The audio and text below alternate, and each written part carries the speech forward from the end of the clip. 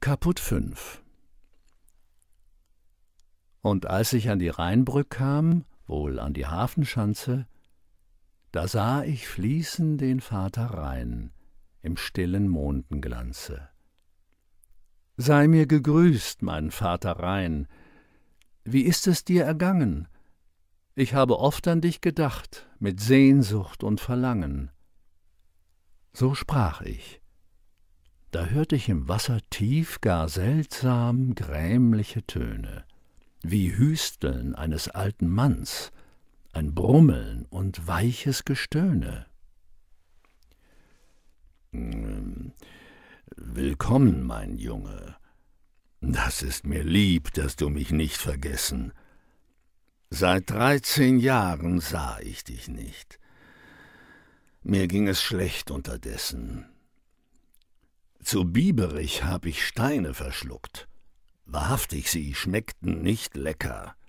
Doch schwerer liegen im Magen mir die Verse von Niklas Becker.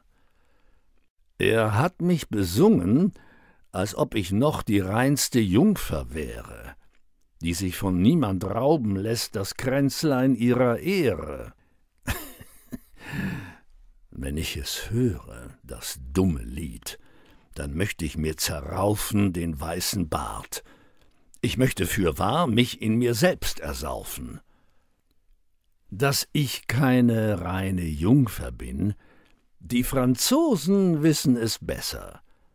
Sie haben mit meinem Wasser so oft vermischt ihr Siegergewässer.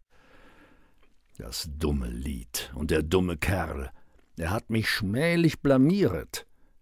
Gewissermaßen hat er mich auch politisch kompromittiert. Denn kehren jetzt die Franzosen zurück, so muss ich vor ihnen erröten. Ich, der um ihre Rückkehr so oft mit Tränen zum Himmel gebeten. Ich habe sie immer so lieb gehabt, die lieben kleinen Französchen. Singen und springen sie noch wie sonst? Tragen noch weiße Höschen?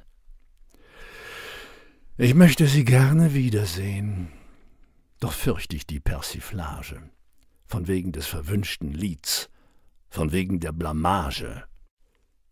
Der Alfred de Musset, der Gassenbub, der kommt an ihrer Spitze vielleicht als Tambour und trommelt mir vor all seine schlechten Witze.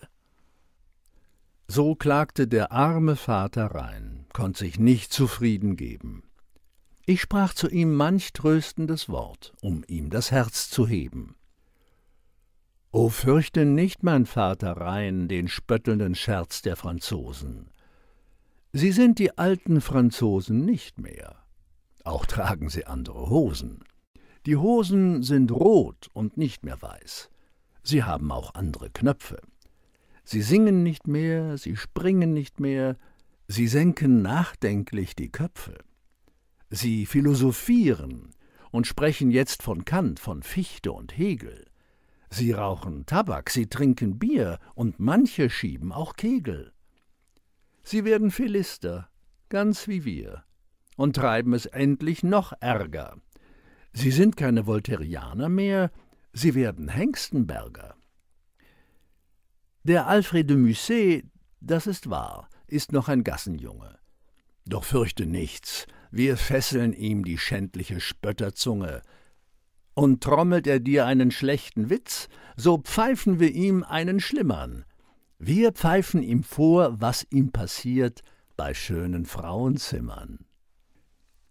Gib dich zufrieden, Vater Rhein. Denk nicht an schlechte Lieder.